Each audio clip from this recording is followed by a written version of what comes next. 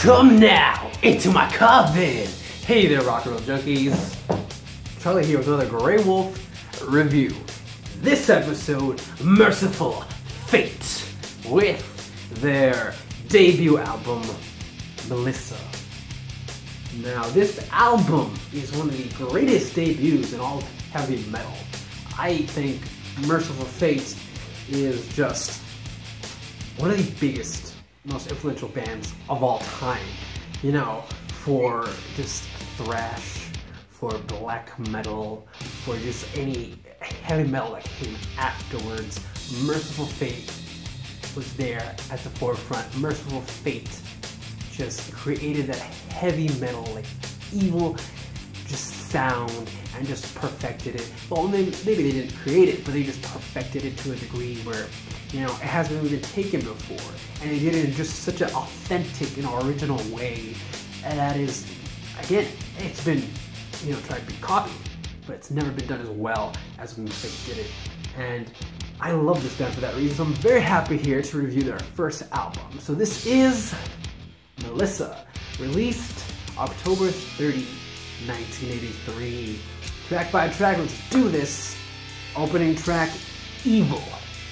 Now, right off the bat, you know, you hear those classic Fate riffs that are just so good, and these pummeling drums and the bass.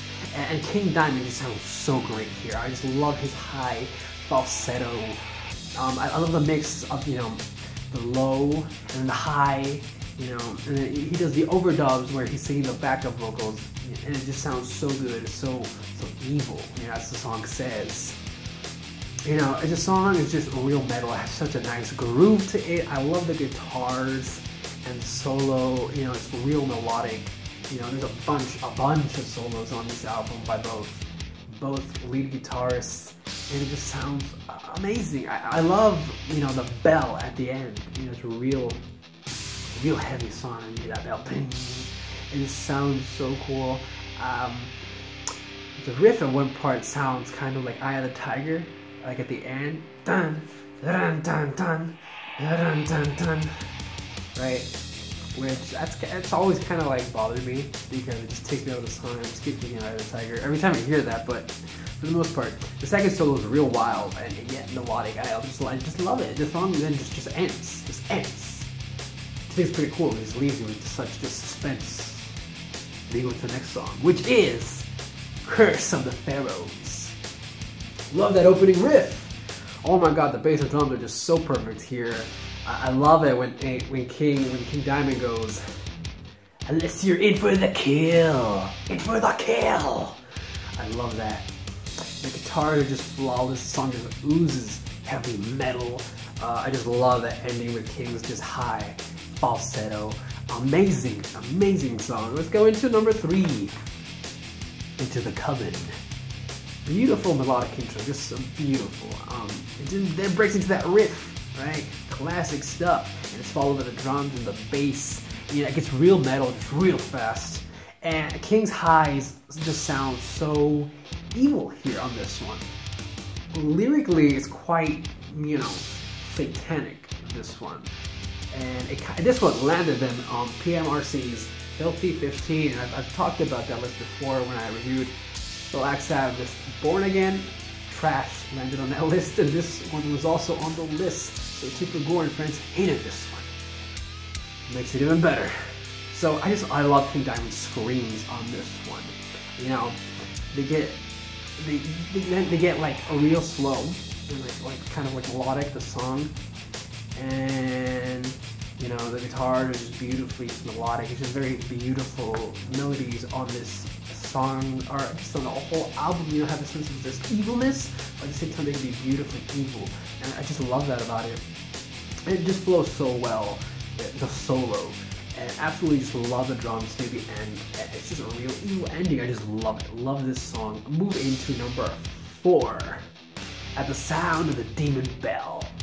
Tons of high falsetto from King Diamond on this one. I love when he goes high, man. I just love it. I just love it. Lyrically, real evil this one again. Uh, great performance from the King. Great vocal melody. Um, I love the guitars You know, they're just so creative and authentic with their style. Just love it. Just Hank is just amazing. I just love both of them. Um, drums and bass, just keeping that heavy beat, and it's just you know that high scream near the end. Just music to my literal music to my ears. I know, but uh, I just love how seamless King Diamond's voice is. You know how you can go from low to high, like within the same note, within like in a song, same like within syllables. You can just go like that, like that, super fast. And I just love that about him. Um, I love the guitar near the end, and it's just just fantastic song. At Sound of the Demon Bell. Let's go into the next one. Number five. This is Black Funeral. Uh, I love that plodding riff. Very reminiscent of well, Deep Purple or Iron Maiden. You know how they get plodding riff, but this one very authentic, very just original, and I just I just love the sound of it. Um, another evil song, and I just love it. real evil, real evil riffs here uh, heavy drums, that plodding bass as well, and a great solo and amazing vocals. What more can you say about Black Funeral? Then it's just perfect. So let's go into number six, Satan's Fall. Uh, it just, you know, the song starts off, and just, you're just dropped in right in the middle of like this wild, these wild riffs, and it's just great evil groove to hit this one. Michael Denner has said there are about 16 different riffs throughout this whole song, which is just, just crazy to think about because I mean this this this is the second second longest song Mercyful Fate ever made. And this one comes in at 11 minutes. So there's just so many things going on here. You know, I love when the when the the drums and the guitars just slow down and then the king starts laughing, just so evil. And, and then it just starts, you know, getting those evil riffs, and then the pummeling drums, and then there's just so many twists and turns on this song. It takes you on like this musical adventure into the unknown, pun intended, and it's just such a musical ecstasy into like the, this dark world they created here, and I just I just love it. It just it's amazing on every sense of the word and it's just so magical to hear this one. Love it. Let's go into number seven. Uh, this is the final song on the album. This is the title track. This is Melissa. I love to say, just on that, the title track, I've never really seen an album that has a title track at the very end.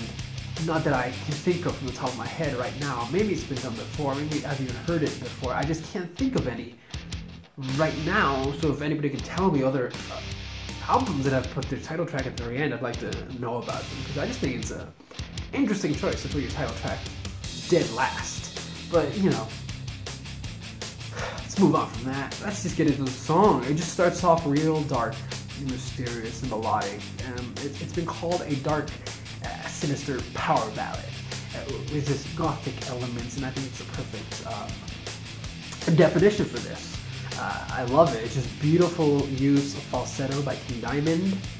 And great drums and bass and guitars. It conveys a lot of emotion. There's a lot of emotion conveyed on this song. It's just a great performance from the King, a beautiful solo, and it's just a great ending to the great album. And maybe maybe that's why they put it last, because this song is a little bit slower than the rest. Right. And kind of it just leaves you kind of like wanting more. You want more. You you know you want to go back and to it again. It's just amazing sound and amazing guitars and drums and bass and King's voice, and that's just for the whole album. But let me just summarize the whole thing. I think this is one of the greatest debuts ever in the history of heavy metal ever put on vinyl. This is just fantastic, dark, evil album at the time when you know it was still somewhat taboo to be evil. Now everybody does it.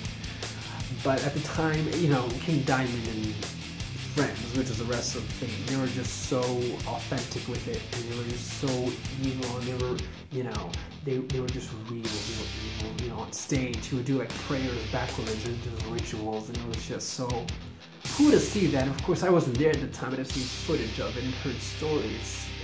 I would love for Mercyful Fate to come back you know, the classic lineup and to tour Um, my personal favorite Mercyful Fate album is their second, Don't Break the Oath. I would love for them to come back and do that whole album from beginning to end. Even this one, I would just love it. I've actually never seen even King Diamond solo, which is kind of sad.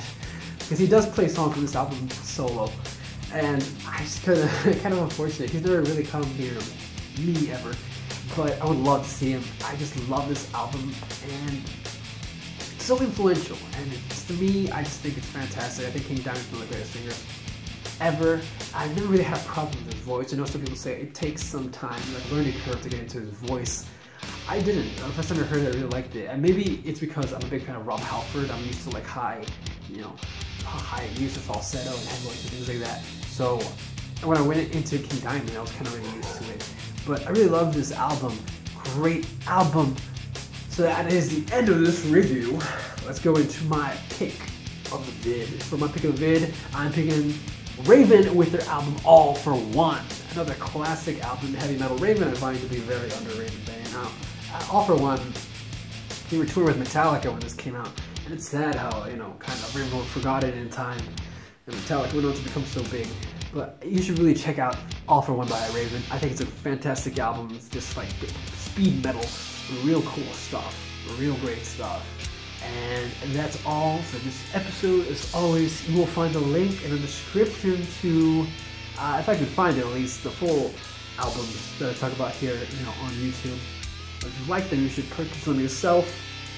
That being said, if you enjoyed the video, give it a like, subscribe for more reviews, and as always, remember to stay metal, stay devil, stay evil. Alright.